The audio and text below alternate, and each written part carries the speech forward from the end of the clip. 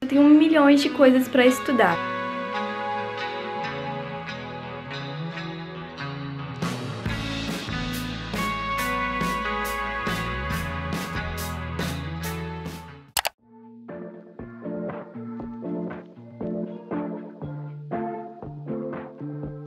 I'm sick of daydreaming. I just want the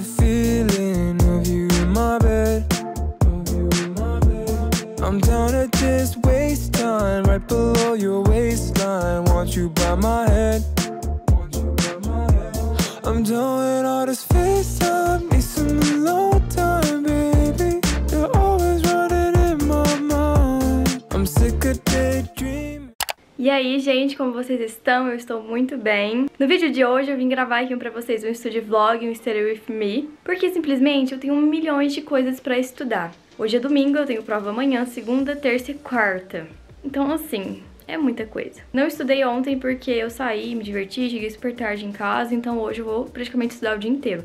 Agora são duas e meia da tarde, já vou começar. Tá um calor impossível. Não vou tomar banho agora, eu tenho que lavar meu cabelo, mas eu vou fazer isso mais tarde. É, já vou começar agora e aí na da minha pausa pra comer, umas 5, eu tomo banho e lavo o cabelo. Minha escrivaninha tá meio que arrumada, eu só vou dar, tipo, tipo, colocar as coisas no lugar e começar. Já enchi minha garrafa de um litro, vou colocar no copo agora. O ar-condicionado tá ligado e mesmo assim tá um calor impossível. Pra quem não me segue no Instagram não viu, mas eu já troquei de cadeira. Eu falei que eu queria muito trocar. Comprei essa aqui, eu postei lá nos stories. Deixei o link também de onde eu comprei. Então se você não me segue, corre lá. Ela é muito linda confortável. Eu não gosto de cadeira com braço, então por isso que eu escolhi essa. Tive que comprar uma calculadora científica pra matéria de estatística. Que beleza, né? Nossa, enfim, vamos começar.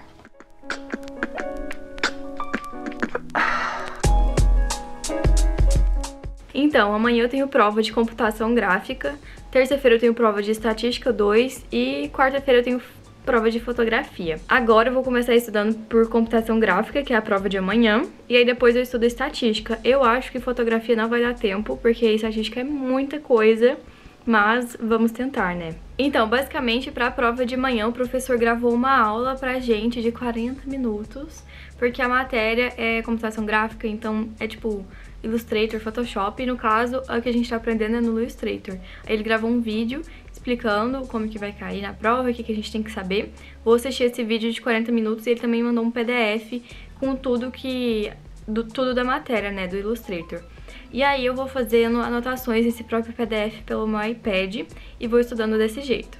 Ah, e nesse vídeo eu vou dar algumas dicas pra vocês de como estudar, como que eu estudo. Isso é muito de pessoa pra pessoa, mas eu vou falar, assim, algumas coisas que eu gosto e que talvez possa ajudar vocês, porque vocês têm muita dúvida, vocês sempre me perguntam como que você estuda, como que eu faço pra é, aprender mais a matéria fazer resumo para prova. Então hoje nesse vídeo eu vou mostrar tudo o que eu faço e como eu estou achando mais fácil e bem mais prático agora na faculdade. Confesso para vocês que agora na faculdade eu aprendo muito mais do que eu aprendi na faculdade, na escola, porque o meu método da escola era ruim não era o melhor pra mim no caso, que pode ser bom pra você, mas não era bom pra mim. Então agora eu achei um método bem melhor e que eu gosto bastante e que me ajuda a entender mais a matéria.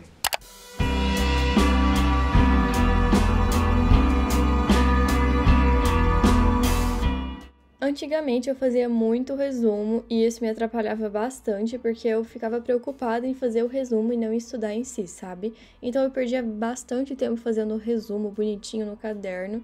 Hoje você nunca vai me ver fazendo um resumo no caderno, todo bonitinho, todo trabalhado e detalhado, porque primeiro eu não tenho tempo, segundo porque não é meu método de estudo preferido e também porque eu achei um método bem mais fácil e prático para a faculdade. Eu vou falar o que eu faço, mas você tem que procurar o seu método de estudo que vai ser melhor para você.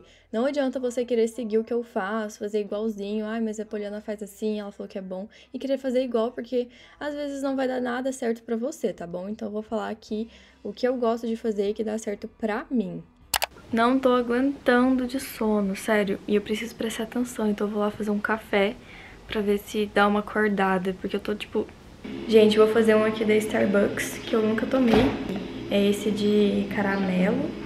É café com leite, sabor caramelo. Tá até fechado, que a gente não abriu ainda. Eu normalmente tomo o cappuccino, que é o que eu mais gosto pra fazer na cafeteira. Deu esse tanto aqui, eu achei pouco, eu pensei que era mais, mas muito gostoso, eu gostei bastante e no caso tá quentinho, né? Depois eu faço com gelo e coloco mais coisa pra ver como vai ficar. Já terminei de estudar outra matéria e agora é estatística. E o professor passou esse essa playlist no YouTube de um outro professor que tem várias aulas da matéria, tá vendo? E eu vou assistir, porque, né, não lembro de tudo mais, gente, é muita coisa. Então eu vou assistir, colocar no 2x, né, porque, nossa, olha o tamanho das videoaulas. Então, bora lá. Eu tenho bastante coisa anotada nesse caderno, que é o Studies to Go médio, que é o que eu levo pra fazer anotações, porque esse professor passa muita coisa, tá vendo? Isso aqui tudo é ele, não foi nada que eu copiei porque eu quis, sabe? E não é só isso, tá? Tem mais coisa nesse outro caderno. Aqui eu estou fazendo todos os exercícios que ele passa, e aqui é basicamente a matéria e alguns exemplos. Por isso aqui nessa parte, ó, são exemplos, mas depois eu parei de colocar aqui, coloquei tudo no outro. Então, já tenho praticamente toda a matéria aqui, sabe? Eu só vou acompanhando e se, se precisar fazer alguma anotação a mais aqui no caderno.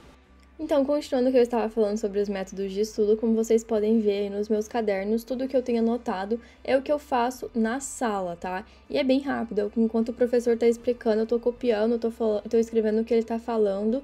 Então, é basicamente isso que eu faço de anotação e de resumo. Não chego em casa e vou fazer outro resumo, tá? Se eu precisar anotar mais alguma coisa, eu anoto lá mesmo naquele caderno, em cima das anotações, puxo seta. E pela sala de saber eu estudo as matérias básicas, como por exemplo português, redação, matemática, que no caso é estatística.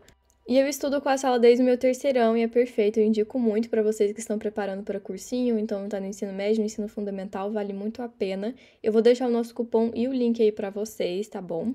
Em específico, estatística e as matérias exatas que eu tenho, eu gosto de fazer um mini resuminho, que na verdade é só anotar as fórmulas e o que significa cada fórmula. Aí nisso eu faço no papel porque é mais difícil fazer pelo computador. Agora, de resto, todos os outros resumos e tudo que eu faço para estudar é pelo Notion. E aí eu vou fazer o resumo por lá. Para quem não sabe, o Notion é um aplicativo, um site de organização e ele é muito bom porque você consegue fazer do jeito que você preferir. Eu já mostrei ele várias vezes aqui. E é simplesmente um resumo digitado, muito mais fácil, prático, e eu escrevo só as coisas básicas. Eu não gosto de fazer resumo muito grande, mas lá é perfeito porque é muito rápido, é só você digitar e pronto. Decidi tomar banho primeiro, lavar o meu cabelo, porque senão vai ficar muito tarde e eu tô com preguiça de secar o cabelo, então eu quero que ele seque natural. E aí na hora que eu voltar, vou aproveitar pra fazer exercícios de estatística, colocar em prática. Amanhã a gente tem uma aula de estatística e a prova é terça. Não existe banho sem música, sério. Eu amo tomar banho com música. Saí do banho, já passei creme protetor solar. É, vou dar uma descansada agora. Vou passar alguns produtinhos no meu cabelo também, que é protetor térmico e óleo. E outro método de estudo, sem ser o de fazer resumo pelo Notion digitado, é fazer exercício. Esse aqui eu já tenho faz bastante tempo, porque eu sempre gostei de estudar com exercício. E na faculdade não é fácil você encontrar exercício, sabe? Algumas, algumas matérias não tem na internet, não tem nada assim para você fazer. E aí as que tem, eu procuro. Por exemplo, estatística tem muito, muito exercício na internet. O professor também passa vários exercícios. Então é uma matéria que dá para estudar sim. Mas, por exemplo, não dá para fazer resumo no Notion, sabe? Então cada um, cada matéria vai ter a sua particularidade. Então é assim que eu estudo, são os meus dois métodos atuais e favoritos. Na verdade, tem mais um que é conversar com os amigos, explicar as matérias, a gente faz isso toda vez antes da prova.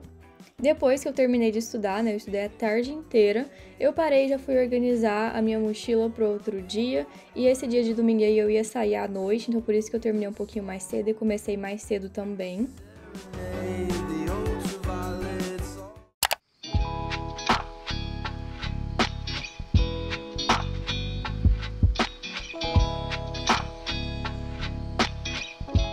Oi, gente, como vocês estão? Hoje é segunda-feira. Hoje eu tive uma prova de computação gráfica, eu fui bem.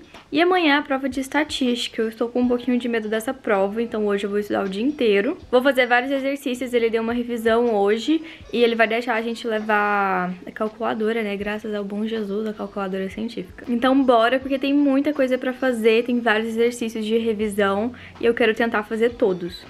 A minha rotina de estudos é basicamente a mesma. Eu sempre tô colocando música para estudar e também coloco no Forest, que é aquele aplicativo de foco, e eu gosto de colocar para contar o tempo, sabe? Eu não, faço nenhum método de Pomodoro, por exemplo, porque para mim não dá certo. Eu não consigo estudar 25 minutos e parar 5 minutos, sabe? Isso me atrapalha muito. Então eu gosto de estudar pelo menos uma hora ali diretão.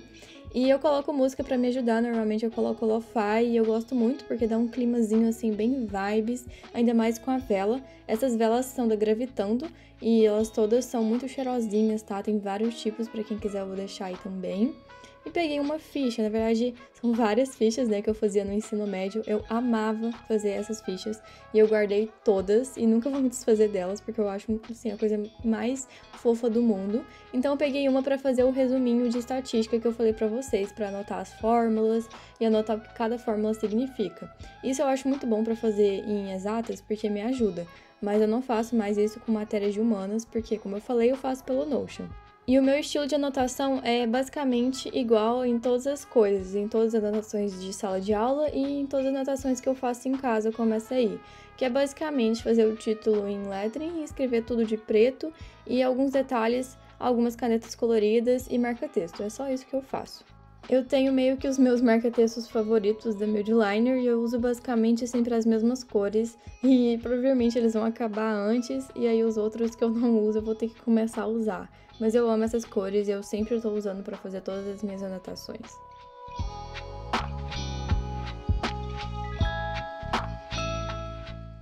Me contem nos comentários qual é o seu método de estudo favorito, então se você não tem algum, qual que você quer começar a ter, que você acha que vai ser bom para você. Aproveitando também, se você não me segue lá nas redes sociais, eu vou deixar o nome aí, vou deixar também na descrição do vídeo. Me sigam no Instagram principalmente porque eu posto vários vídeos, várias fotos, eu posto minha rotina todos os dias nos stories, várias dicas. Tenho certeza que vocês vão gostar bastante.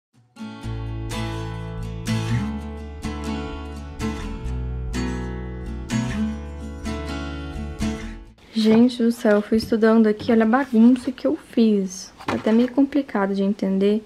Aí eu acho que eu vou fazer exercício agora e depois eu refaço, sabe, à noite. O que eu mais gosto é estudar nesse clima escuro. Fica parecendo que tá à noite, mas na verdade era 4 horas da tarde.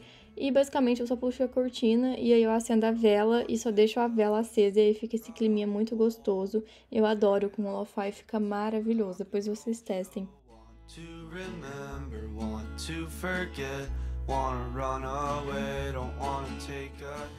Sigo aqui fazendo exercícios de estatística. Eu ainda não refiz o resumo. Tá até que adiantando por enquanto, mas tá muito bagunçado, por isso que eu vou refazer. Aí facilita, sabe? Vou acabando o vlog por aqui, gente. Olha essa bagunça, eu não terminei de estudar, acabei de jantar. Ainda vou estudar mais, mas já vou finalizar aqui, porque agora eu só vou tentar fazer mais exercícios. Essa matéria é um pouquinho difícil, porque eu tenho dificuldade em exatas. Então é isso, eu espero muito que vocês tenham gostado do vídeo. Se vocês gostaram, deixem um like, se inscreva no canal e até o próximo vídeo.